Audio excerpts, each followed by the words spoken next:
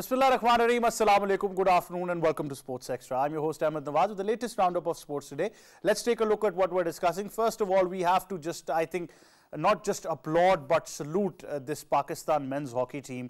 It's an absolute joyous moment for the entire nation. After 13 years, Pakistan has qualified for the final of the Azlan Shah Hockey Cup Tournament 2024. In their final group game against New Zealand, uh, they were held to a one-all draw. Of course, New Zealand got the first goal in the last 10 minutes of the third quarter and then Pakistan equalized. It was an absolute superb effort. Congratulations to the entire team. I think uh, if you look at throughout this course uh, of, of their tournament so far, they've been unbeaten. They've, uh, you know, have won three games. Uh, two matches have been uh, drawn, but they've been absolutely superb. Clinical performance, and even I think if I talk about today's game, I watched uh, majority of the game. The possession and the way they were, you know, the, the synergy between the team was absolutely brilliant. I think I really enjoyed hockey after a while now. So I think it's a great moment for Pakistan. Just a short while ago, uh, we had uh, uh, government representatives as well, including the Honorable Minister for Information and Broadcasting, Mr. Ataullah Tarar, uh, followed by the head of Prime Minister's uh, Youth Development and Sports Program, Rana Mashood as well. Uh, they also uh, applauded the team for their efforts. They uh, congratulated them on reaching the final after 13 years. They congratulated their families, their coaches, the entire team management. They also said that it's going to be a great omen now that the final will be witnessed by the entire nation courtesy of PTV Sports. And it was also announced that the Honorable Prime Minister Mr. Shehbaz Sharif has also congratulated the team and applauded the performance. And we're all very hopeful for great results uh, once they, uh, you know, take part in the final against Japan. I think all in all, uh, all we can say is that we're very, very proud. This national sport, this national team, uh, you know, deserves a lot of attention more than other sports in this country. I think one of the reasons why the glory of hockey has been lost in Pakistan is because we've not, you know, treated it as a national sport. So I must applaud, I think, the government of Pakistan at this moment as well. There's a great initiative that they were on video link with the team as well. They interacted with them uh, via video link live and you know it was I think it's a great precedent that you acknowledge their uh, their efforts. And also I think uh, later on we will also see some financial incentives for them as well. Because unfortunately there you know it's a struggle as far as the finances are concerned in hockey. So I'm sure that this will also be improved. So once again congratulations to the Pakistan hockey team. And at the same time congratulations to the government of Pakistan for acknowledging their services as well. Uh, then of course we move on and we discuss cricket in detail. Pakistan is all set to face Ireland in the three match T20 international series that starts from today uh, the trophy has been unveiled as well we'll discuss all the combinations what is Pakistan's probable playing 11 what kind of cricket they should be going for, what should be the setup as well. We'll discuss all of this in detail. Uh, we will, of course, I think, uh, be moving on to the entire scenario as well, where Pakistan's World Cup preparation. I'll introduce the guest in studios. Joining us, first of all, is uh, somebody who happens to be a cricket commentator and international broadcaster presenter and our sports expert, K. Asif Ahmed. Assalamu alaikum. How are you, sir? Walaikum Assalam, Ahmed. I'm very well, thank you. We've you. also been joined by sports anchor and he's an expert as well. He's also a coach when it comes to sports, Saeed Mohammad Awais. Assalamu alaikum. How are you? Walaikum Salam Ahmed Bhai, thank you. Thank you very much for joining us. And we've also been joined uh, by former Olympian and member of the Pakistan hockey team, Mr. Imran Butt as well. Assalamu alaikum, sir. How are you? Right. So I said, like, you know, when we discuss this entire scenario, it's very important that you gauge Pakistan's entire performance throughout the tournament, how the matches have proceeded, how they've, you know, uh, stepped up towards reaching the final. We've got a report by Sabah. Let's take a look at that and then we come back. Pakistan match against New Zealand ended in a 1-1 draw in the ongoing Sultan Azlan Shah Hockey Cup 2024 at Ipoh, Malaysia. In the third quarter of the match, Luke Holmes gave New Zealand the lead through a field goal. Eight minutes later, Abu Bakr Mahmood scored on a penalty corner to equalize for Pakistan. Pakistan team remained unbeaten in the group stage. Pakistan has so far played five matches in the mega event. They beat Malaysia, Korea and Canada and drew their matches against New Zealand and Japan. Pakistan is at the top of the points table in the tournament with three wins in five games. Green shirts have now qualified for the final of the event for the first time in 13 years. This is Pakistan Pakistan team's first assignment under the newly appointed Dutch coach Roeland Oltmans. The final match will be played between Pakistan and Japan on 11th of May. And there you have it, all you need to know about uh, the Sultan Azlan Shah Hockey Tournament 2024 and Pakistan's campaign so far in this report, courtesy of Sabah. They've reached the final now. They'll be facing Japan. It was an interesting encounter. They, you know, beat majority of the teams. Two matches were held to a draw, but Pakistan were absolutely superb. They drew against Japan and New Zealand. Otherwise, they beat Canada. They beat Korea as well in this tournament. They were absolutely superb, as I just highlighted, that their performance was really spot on. So we'll discuss all about this, uh, this in detail. And, you know, once you move into the final, then, you know, it becomes a game of nerves as well. So I think all of this will be on the show. Uh, I think uh, we'll just go to Imran once again. Imran, Assalamu alaikum. Can you hear me? Yeah, yes, I hear you. How are Thank you? you very much. Thank you very much for joining us. Uh, Imran, how would you highlight uh, today's performance, especially, like I said, they were one goal down in the third quarter, but made a remarkable comeback and now leading it into the final. Yeah, this, uh, I'm very happy uh, about the performance of my team, especially the Pakistan team played a very well in the last and all credit goes to our uh, team players and they played very well and and some some some issues in the starting of the game because Pakistan is slow start in the game. That's why they score. The other team score against Pakistan in the final. Especially Pakistan, the proactive the start of the game. If we want to survive against Japan, because Japan in the first two quarters they or they all the time create a pressure on the defense. So Pakistan need to proactive in the start of the final. Uh, Imran, going into uh, the final now, once they move on, like I said, that even if you're unbeaten in the tournament, once you reach the final, it becomes a different game now. It's not just about the hockey that you'll be playing, it's a game of nerves as well. You've got to consider, and Pakistan already has reached the final after 13 years. Uh, what kind of strategy do you think they should be going with now? Um, I definitely, Roeland Oltmans know about the nerves of Japan, and Pakistani players are much experienced side because they all are playing from the 2018 to 2024. So I'm very hopeful to my team to they, if you want to survive in the final against Japan, because uh, you know the ball possession is a very important. Uh, Pakistan against the Japan, we need to be a ball possession and create some short corners because if we create some short corners, so we avail uh we avail this opportunity because we need to score earliest against Japan because Japan always suffers from the short corners. Well, uh, now, uh, once you know, we talk about the team as well. Just recently, we had uh, uh members from the federal government interacting with them via video link. Uh, as a former hockey player yourself, uh, like I said, that we have seen certain setbacks in hockey in Pakistan, unfortunately, due to infrastructure development or whatever course we can say. How important is it for any player once they're acknowledged by the government? They were just, like I said, uh, uh, about five, ten minutes ago, they had a live interaction with members of the federal government who also gave them the best wishes, the Prime Minister. How important is it for this team that they are recognized at this moment and they are supported in all ways possible? Yeah, this is a great step from the Pakistan government. They support the players, they interact in the video link. That be a very important before the final start because we need to boost up our players because there is no daily allowances clear for the players. I request to the government, kindly please clear the allowances for the players because they are fighting for the Pakistan without facilities, without allowances, and we are playing a final in the launch after 13 years. So Pakistan hockey is is is now is now on track. I know, I know, we need some time, but but we need to support our players. They played for the Pakistan. Uh, Imran, what would you suggest? As you also mentioned that we need some time now. Uh, let's hope for the best in the final after the results of the final come in. Uh, in any case, the uh, team would be welcomed as heroes, as champions. Uh, like we say that the system needs some consistency, Oltmann needs to be given some time as well. What would you recommend is the right way forward now for pa Pakistan hockey? Because we certainly should not look back but move forward.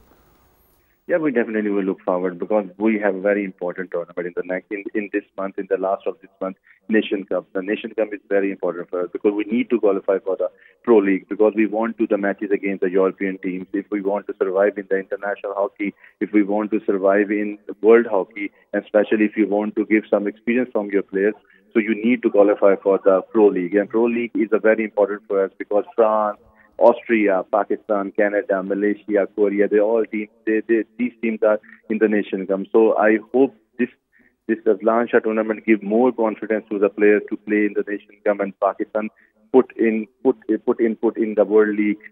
So it's very important if you want to survive your hockey because then if you play in the Pro League, then you have better than better in, in a days, and now you can be back for the Pakistan hockey will be back on track and for the World Cup and Olympics qualify.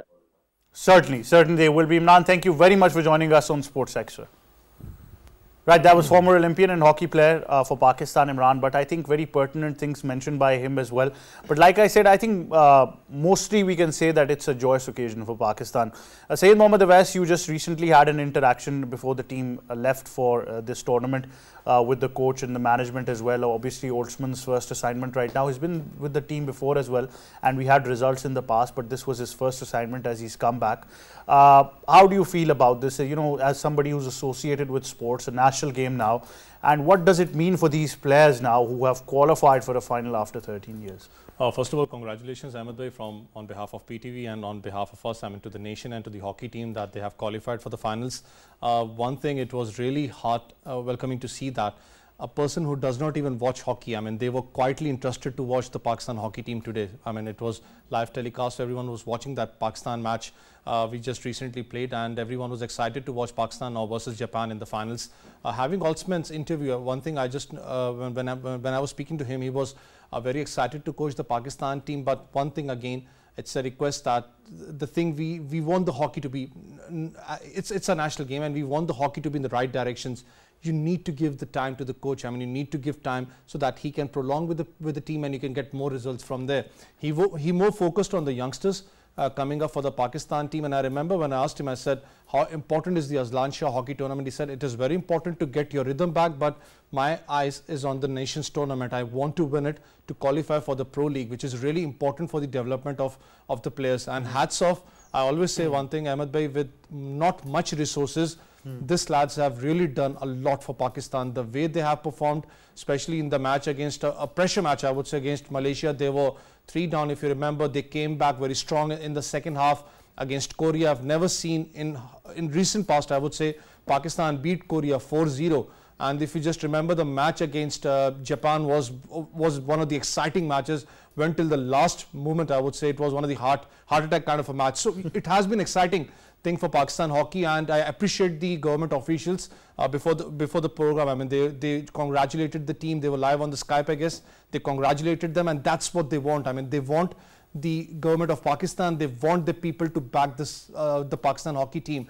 And hats off to Imran Butt I would say the captain of hockey he has gone through many ups and downs. I remember he wasn't the part of the hockey ho hockey mm -hmm. team. Then he came back. That shows what an important player and an important coach can make a role Certainly. for the hockey team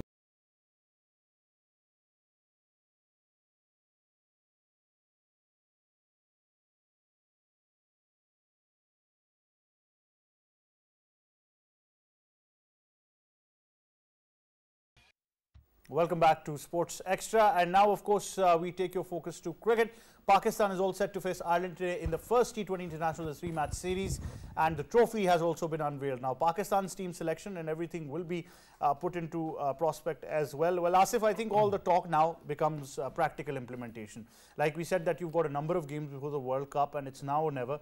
Whatever playing 11, I think Pakistan go with in this series or definitely in the first two, three games that we talk about of the series as well is something that we might be seeing in the World Cup as well. Well, uh, I think, Ahmed, if you see Pakistan's pool, that Pakistan will be playing against India, and Pakistan have India, Canada, USA, Ireland, and um, so only one important game in, in my eyes, that is against the India. Rest, uh, uh, when we talk about the T20 cricket, every team is dangerous. But Pakistan got now, uh, you know, a couple of very experienced players. And whenever we talk about the playing 11. Amir uh, uh, reached uh, this morning or maybe uh, late tonight, uh, yes, last night in Ireland be just because of his visa issue. So I have watched the uh, Azhar Mahmood's media talk. He is so much confident that we have given the, the, the, different roles to the players, openers, in the middle order, spinners, fast bowlers. And if, and if they are coming up with the perfect execution, Pakistan will give tough time to the every opponent. Mm -hmm. So now come to the uh, Pakistan versus Ireland. I think that Ireland is a very good side. But recently when we have watched their T20 cricket against Afghanistan in, in Sharjah that they were struggling especially against the spinners. So Pakistan have Imad Wasim, Shadab Khan, Abrar, three of the spinners. But I'm not sure that either we're going with the two specialist spinners or we're going with Imad or Shadab. I think that that would be uh, our choice. And uh, when we talk about the conditions of Ireland, the paces like Naseem Shah, Shaheen Shah Afridi, and uh, Haris really crucial uh, role for them. And once again, lots of responsibility on the Babar Azam because uh, when the people they talk about that uh, his strike rate, his strike rate, I think that now stop talking about his strike rate because we're putting extra pressure on him and that's it. And uh, we require his services if he's playing good innings, 60, 70 runs on just 40 deliveries. I think that would be okay. And on the other side, if the, the youngsters like Saim Ayub and uh, Usman Khan, this is the best chance, chance for them. Play well, perform well, and get permanent uh, chance in the Pakistan team. Because, you know, right after this, Pakistan will be playing World Cup, and, and, and after 21st of May, Pakistan will announce the squad for the uh, World Cup. So if they won't be able to perform well, then Pakistan would have to think either they, they are going with Usman and Saim or they will bring some change. Mm -hmm. Certainly, I think that that needs to be settled right now. Yeah. Because as you move closer, it's going to be a very difficult decision, not only for the team combination, but I think it's also injustice to those players as well. So it's very important that you clarify right now who's in your plans and who's not for the World Cup. Also joining us now on Sports Extra is senior sports journalist Syed Haider. Assalamu alaikum, sir. How are you? Islam Ahmed, I'm fine. How are you?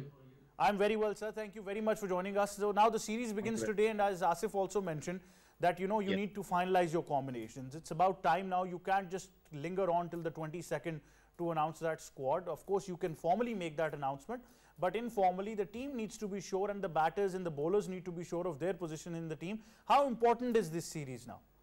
Oh, very important this series. I think uh, it's not Ireland is not like uh, team uh, as in the past it was. Now, uh, you know, uh, in these days, Ireland has become uh, like strong team, other like other teams. So I think it's this series is very important. And uh, Babar Azam as a captain, he has a chance to get some results from the players, to get some fitness test also of the players who will be the uh, fit in the T20 World Cup in in US and West Indies. So I think Babar Azam should go with the team which is uh, which is going to the US and West Indies. Um, big experiments we don't need. We have done already so, something in, against New Zealand series. So now uh, against Ireland and England, the coming uh, four T20 against England, they are very very important for the Pakistan team before the mega event against India. Unfortunately, Pakistan uh, has not announced till Pakistan squad, but all other teams they have they have announced already. So it's a last, I think it's a last opportunity for the selectors, for the Babar Azam to get the final squad for the T20 World Cup. But Pakistan should go with the full strength against Ireland and England and to test which player is really suitable for the uh, T20 World Cup. So Haider, if we talk about uh, you know priorities as a nation for Pakistan, I think most of the times we've discussed it that you know our criticism should be constructive criticism. Unfortunately, exactly. what we fail to understand that our players are also human, and whatever we say and whatever we you know the statement we make, and when I say we, I mean the entire nation, including our former cricketers as well. Sometimes we need to also remember that the players are human and it affects them as well. Uh, gladly, I think the, on the positive side, we see that the skipper Babar Azam has developed a thick skin now. Uh, he doesn't, I think, uh, bother about certain uh, statements that are absolutely irresponsible that are made against him or the team. Uh, so that is on a positive side. But at the same time, you know, be it former cricketers or cricket experts throughout Pakistan, uh, what would you advise as well? You know that instead of just throwing baseless criticism on the team, what we need to remember that this is a World Cup year. This is your team that has been selected to represent Pakistan. Whether I like a player in the team or not, whether you know somebody else likes a player in the team or, or not, at the end of the day, we have to support Pakistan. Yeah, exactly. Uh, you know, the criticism, if it is constructive, then it's always good for anyone unfortunately in our system in pakistan we have seen that in past uh, former cricketers they have some favorite players in the team. And they are targeting all these other players why they are there and uh, their favorite players in uh, they are not in the team. This phenomena has really disturbed uh, all the captains not only the babar azam. In the past Sarfaraz Ahmed or um, uh, Misbah they all they have complained always. Ms. Misbah especially, he has complained uh, always that former cricketers they are sitting on the uh, TV sets uh, in TV channels and uh, in talk shows they are just only criticizing the team but they are not uh, taking the performance of the team what they are doing i think that constructive criticism is always a positive sign for anyone but our former cricketers, they should not be very hard like uh, we have seen someone, I will not uh, name of the uh, former players, but someone on the TV channels, they are really doing what in a very bad manner. They are always targeting Babar Azam or Mohammad Rizwan or Shaheen Shah Afridi. They try to get some uh, some uh, some differences uh, among the players. They are trying to to build some differences among the players. I think it's not a good sign for the system former cricketers they are uh, someone they are not doing anything on the ground but they they always they are speaking everything against and also the personal things they are they are speaking the friendship and the groups and everything i think it's a normal it is not only in the pakistan the grouping the dressing room problems they are always more than in pa- pakistan in other teams, India or Australia or other teams. So uh, we have to go with the team. We have to support them.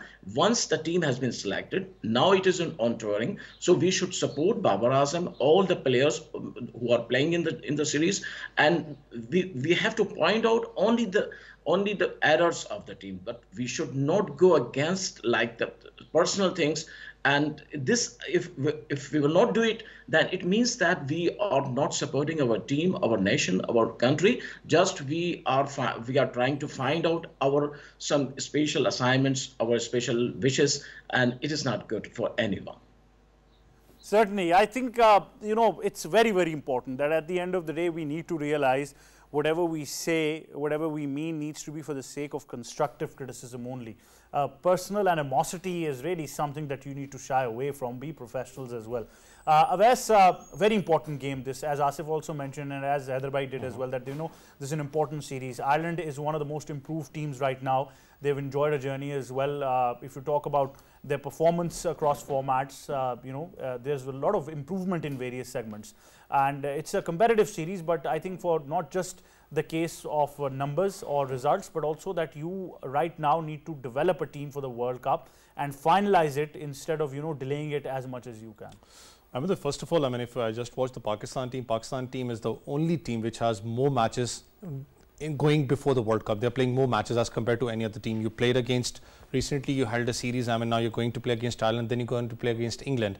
And this series is very important for you because the right combination will be selected for you for the World Cup. And if I talk about the Ireland conditions, you know, there are, you have got uh, this, it's most supportive for the fast bowlers because you got a little bit movement over there, you got grass, lively grass on the wicket. So it won't be an easy task for the batsman to score runs over there. Your fast bowlers actually will be doing a good job for the Pakistan team. And I rightly, uh, I would agree with both of them that you need to go with the full strength of Pakistan team because you're going to be testing your, your strength which will be in your mind that that needs to be carried for the World Cup over here.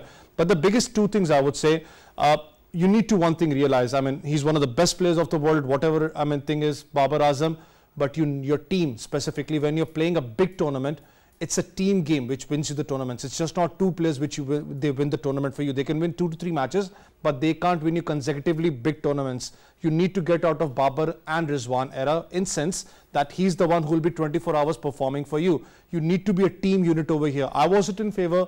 I was speaking to even uh, you both of that I wasn't in favor of getting Babar Azam and uh, Rizwan aparted as an opening department. They were doing a superb job for you. The real problem for you is if you go by the Pakistan team selection, you have got seven to eight openers in the team, outside the team. The biggest issue is your middle order where you have to score runs. I mean, you have to score in quick fire runs over there. Who's going to be taking that responsibility? That's the biggest issue for you. Secondly, if you talk about the uh, your uh, your all-rounders, you have got Imad Wasim, you have got uh, Shadab Khan with you, then spinner you have got Abrar with you, who's a genuine spinner for you, a guy who was performer, top performer of the Pakistan Super League, the, Lex, uh, the Osama Mir, you dropped him off. What was the reason? I don't know. If I speak about Haris, I know many of them might not agree, but when you're talking about the strike rate, he was the 30th number batsman in the world with the top strike rate, and you dropped him off. What was the reason? No one knows about that. The biggest thing what I still feel is two things. One, your squad will be changed after the Ireland series, 120%. Looking at this squad, there will be mm. some changes. And lastly, why was Amir Jamal not included? I know many of them say he's 8, 9 runs per over in T20, but the cushion what he gives in the batting, that's the main point what you need in the T20, quick fire runs, what he provides with you. Why was he not included in the side? There are literally many questions, but uh, this is a major series for Pakistan. Ireland is not an easy, easy option in Ireland. They'll really give you a tough time, but Pakistan needs to be proactive more needs to be aggressive over here. Certainly. The match, of course, takes place at the Clontarf Cricket Club in Dublin. And if you look at some of the stats, then only five T20 internationals have been played in this ground. And only one game has been won by batting first. Four games have been won by batting second. The average score, or uh, first of all, I think the highest total is something that you need to talk about is 153. That was uh, between Ireland and Zimbabwe. And the lowest total was 114. That was also Ireland versus Zimbabwe. And if you talk about the average scores in this ground, batting first is 107, second is 108. So not many matches that have been played here, but certainly I think it's a good moment for Pakistan to go against the odds. So once I think I'd like them to bat first and set a good total, but obviously the captain would assess the conditions and we'll leave it at that. Action, of course, begins at 7 p.m. Pakistan Standard Time, and hopefully it's not just the results, but uh, it's finalizing a team for the World Cup as well. Now, before we go, uh, we've got something, uh, uh you know, of a development on international cricket that we'd like to share with you as well. A New Zealand cricketer, Colin uh, Munro, uh, is also uh, in the news as well. You talk about this New Zealand squad, so we're going to be talking about them as well. So there's a lot to be said. And if I talk about, like I, I, always say that, you know, there are certain teams that you need to talk about in detail as well. And one of those teams, when you talk about whichever ICC tournament you can, is New Zealand cricket team as well, alongside Pakistan for making it for the most amounts as well. But Colin Munro has announced his retirement from international cricket. He uh, played 57 ODIs and more than 60 T20 internationals, scoring three centuries in T20 international cricket. The T20 World Cup uh, would be his last assignment uh, in New Zealand colours. And of course, I think a stellar career comes to an end at the right moment as well. When you realize as a player that, you know, you have to hang up your jersey, then it's your decision. So 57 ODI, 65 T20s, one lone test match, uh, debuted in 2012. So it's been, a, like I said, a stellar career for Colin Munro. Congratulations to him, his family, his coaches, uh, Team New Zealand. And of course, you know, once they move on, uh, we wish them the best of luck for the next phase of life as well. But like I said, that you always, uh, on a high note, if you're saying goodbye to cricket, and you're not being you know begged or forced to leave then I think it's a good omen. We'll leave it at that. Uh, thank you very much K. For joining us. Thank you very much Sayed Mohammad Awais for joining us and thank you very much uh, Sir Sayed Haider for joining us as well. That wraps up Sports Extra from me and my entire team. Until next time, it's goodbye for now.